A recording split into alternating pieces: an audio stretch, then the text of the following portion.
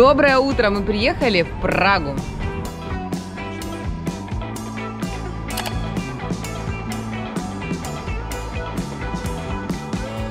В этом видео я проведу вас по самым знаменитым местам Праги. Расскажу, где вкусно поесть, что обязательно сделать, а чего не стоит.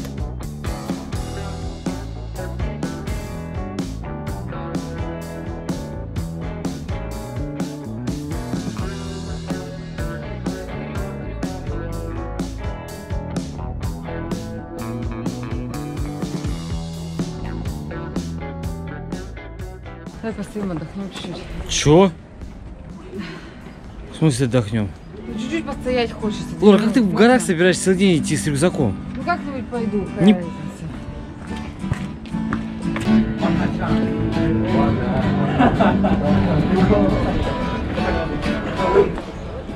Все время в горочку, все время в горочку.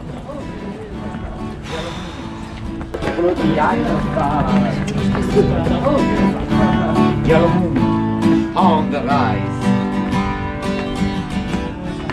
Been flying across Итак, начнем с самого масштабного – Пражский град.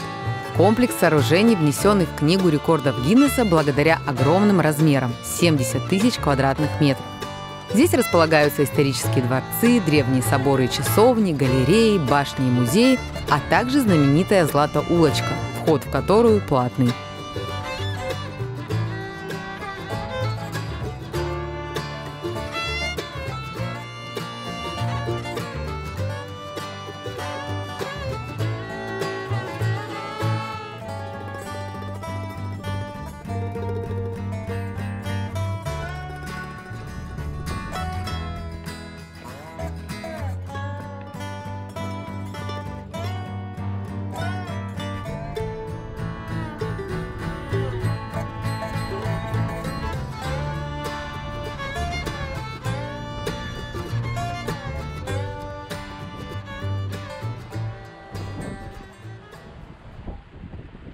На обед мы выбрали самое старое кафе города – Славия. Это традиционное чешское кафе в историческом центре Праги, которое имеет большую популярность в связи со своим удачным расположением.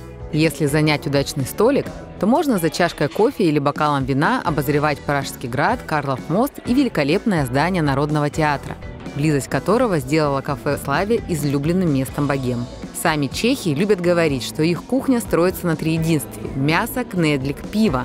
Назвать Чехию раем для взыскательных гурманов сложно, но для любителей сытно поесть возможности просто безграничны. Рубрика называется «Ошибки моей молодости». Я посмотрела, что заказали девушки за соседним столом, мне очень понравилось. Это оказалась свинья, э, свинина с, э, ну, а? С клетками, да. И это очень жирно, очень жирно. Вообще, пр- пражская кухня, чешская кухня очень жирная. Еще они сюда добавили зачем-то квашеную капусту. И все это придает привкус немножко кислый. Ну так себя.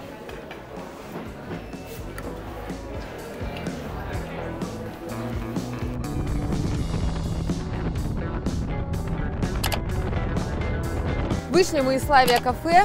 Я съела там свинину. Может быть, поэтому я такая розовая. Самый пору сказать хрю-хрю.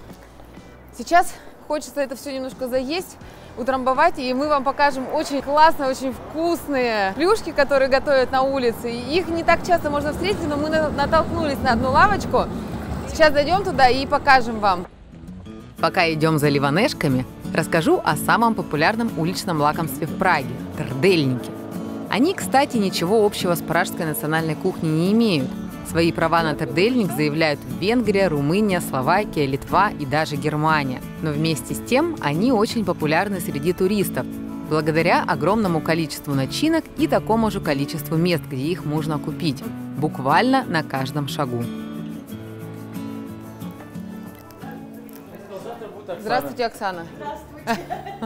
Как уже вы знаете, да? Да, да, да, да, да. Так, меня Лариса зовут. Очень приятно. Взаимно. Вы знаете, мы будем, я буду конкретно вот с этим а, повидлом, да, сливовым. А скажите, пожалуйста, А можно мне для своего блога что-нибудь у вас поснимать? Вы мне, может, какое-нибудь интервью дадите? Нет, нет. Так, а расскажите, это национальное Это что-то? национальный чешский десерт. А можете вот так в микрофончик сказать? Подождите, я вот... А это именно чешский десерт. Это делали бабушки, их прабабушки. Похоже на пончики оладушки. Я сама с Украины, но уже тут живу очень долго. Не думала же, тут останешься. Всегда думала, приедешь, уедешь, приедешь, уедешь.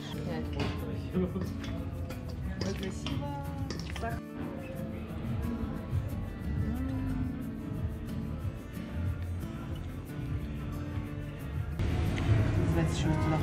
А, ливанчи или ливанцы. Ливанцы. Эти пончики называются ливанцы.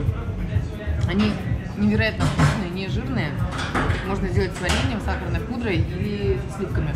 И это единственная точка в Праге, где продаются ливанцы. Все остальное это только дома, если вас кто-то позовет. Поэтому оставлю обязательно адрес, напишу, для того, чтобы попробовали.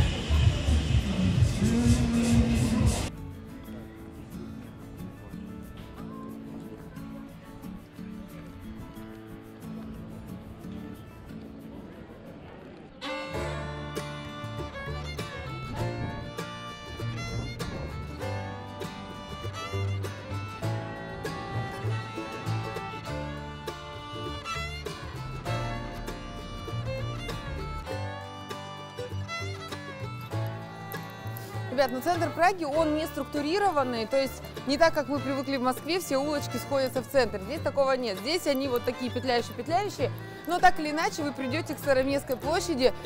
Это центральная площадь Праги, в которую приходят все туристы. Так иначе, там находятся знаменитые часы, которые входят в 12 самых э, красивых часов мира.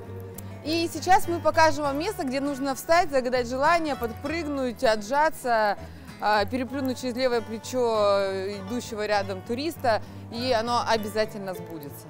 Здесь есть такое место?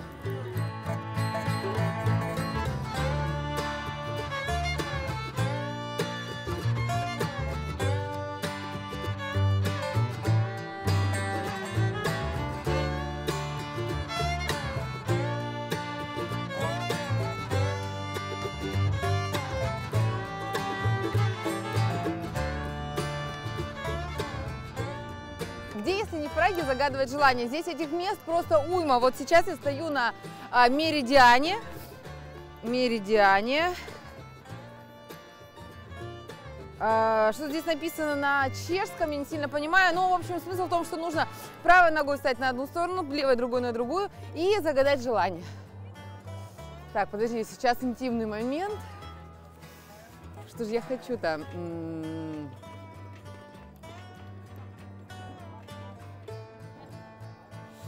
Так, ну что, желание я загадала. Говорят, что все желания, которые загаданы в Праге, они обязательно сбываются. Ну, посмотрим, посмотрим, посмотрим.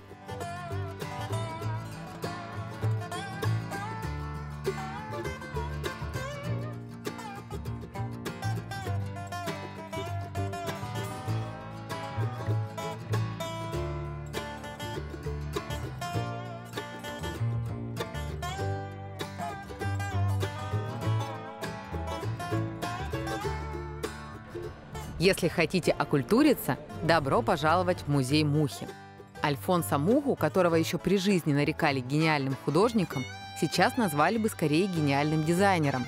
Художник достиг такого уровня мастерства в стиле Арнуво, что какое-то время его называли стилем мухи. Даже сейчас именно в стиле мухи создаются модные принты для одежды и аксессуаров, разнообразная полиграфическая продукция и даже татуировки. Так, ребят, сейчас будет маленький лайфхак. Если в каждом городе, в котором вы бываете, посещать хотя бы одну национальную галерею, либо один музей, посвященный творчеству местного художника, самого знаменитого, то рано или поздно ваш культурный уровень вырастет, и вы даже сможете этим гордиться. Знаешь, мне бы в интерьер пошли бы эти плакаты. ты себе взял? Но я бы что-то взял бы поплотнее, потому что у меня плотный интерьер. У меня как бы белые стены, мне водянистый плакат вряд ли подойдет. Но Как я... муху звали? Альфонс. Альфонс. Ты настоящее имя? Да, конечно. Да? Да. Для Восточной Европы такое, ну, как бы имя, имя. А ты знала, что Альфонс Муха из Праги, из Чехии? Да, Знал, да? да. И я как бы когда ехал еще сюда, я думал, надо сходить. Что ты чувствуешь? А, я чувствую, обле- вот такое вот облегче- наполнение? облегчение я чувствую.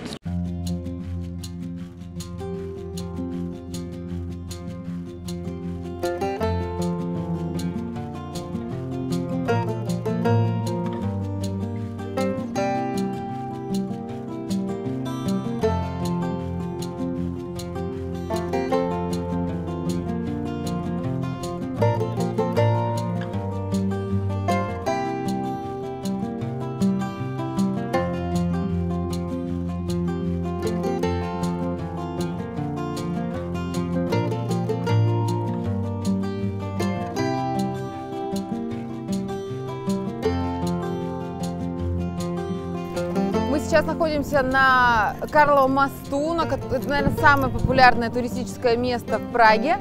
Здесь есть несколько мест, в которые нужно потереться, подержаться для того, чтобы ваше желание сбылось. Вот изображение Яна Непомуцкого, одно из самых популярных. Кстати, это единственное изображение, выполненное в бронзе. Come on, everybody. Э, обязательно желание должно быть нематериальное, что очень сложно в наше время, но мы постараемся. И э, для того, чтобы оно исполнилось, обязательно нужно выполнить ритуал. Первое – это наступить на гвоздик ногой. Здесь у нас есть гвоздь. Здесь у нас четыре звезды. Четыре? Четыре звезды, на которые... А где пятая-то? Раз, два, ой, пять, точно. Значит, здесь у нас пять звезд, на которые нужно умудриться положить пять пальцев. Честно вам скажу, это непросто. Так, подожди-ка. Дим, ровно? Ой, нет, ровно? Так, а э, левую руку нужно положить сюда и закрыть глаза и загадать желание. Главное в этой жизни во что-то верить. Вот если вы верите, что вы потрете и ваше желание исполнится, ну трите. Не верите, не трите. И что тереть, тоже, в общем, выбор э, каждого человека. И индивидуально. Некоторые места можно очень удачно потереть, но, в общем, тут каждому свое. Вот, поэтому пользуйтесь, пожалуйста, не благодарите, если ваше желание исполнится. На этом у меня все. Подписывайтесь на мой канал, ставьте лайки, пишите комментарии, ну и традиционно про колокольчик не забывайте.